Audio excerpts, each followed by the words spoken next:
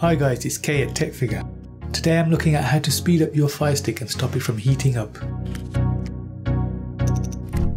Now there's quite a few things you can do to speed up your Fire Stick. First thing I'd like to mention is that the Fire Stick is prone to overheating. Now as soon as it starts overheating, the most vulnerable part of the Fire Stick TV is the Wi-Fi chip, thus leading to the message network lost, meaning that we have to go back into settings and reconnect to our Wi-Fi signal, which is frustrating to say the least.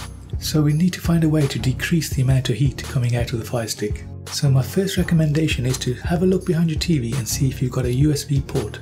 If you do, unplug your Fire Stick TV from the wall socket and plug it into this USB port. This saves your Fire Stick TV from being turned on all day, instead only being turned on when your TV is powered on, thus limiting the processing the Fire Stick TV does and therefore reducing heat buildup, making it cooler when you do want to use it. My next tip is to go into settings where we can do some tweaks to get your Amazon stick running smoother. Firstly, go over to applications and the App Store and on automatic updates I turn this off as I don't want the Fire Stick searching for updates in the background, using up valuable resources. The other option is notifications. I turn this off as it's just another process your Amazon Fire Stick needs to go through. Next, hide cloud apps. I normally turn this off as it will make it easier for me to look at my installed apps on the device. So now let's back out and go into manage installed application.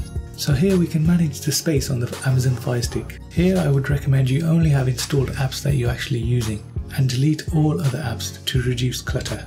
Because apps like Mobdro, Terrarium TV and Kodi tend to use up a lot of resources of the Amazon Fire Stick. So reducing the amount of apps running in the background will make these apps run a lot more smoothly.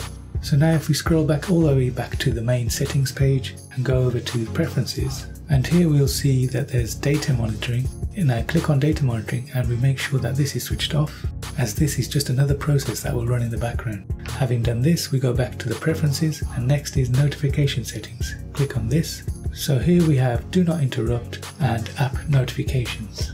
And let's go into app notifications. Here we should really turn off all app notifications as they will just be processing in the background using up the valuable resources of the Fire Stick. Okay, if we go back again and in featured content, we have allow video autoplay and allow audio autoplay. With these two features we want to switch them both off. Okay, now we click back to the main menu and that's it you should now notice your Amazon Fire Stick running a lot more smoother and a lot more cooler. Thanks again guys for watching, please do like and subscribe for more content from this channel.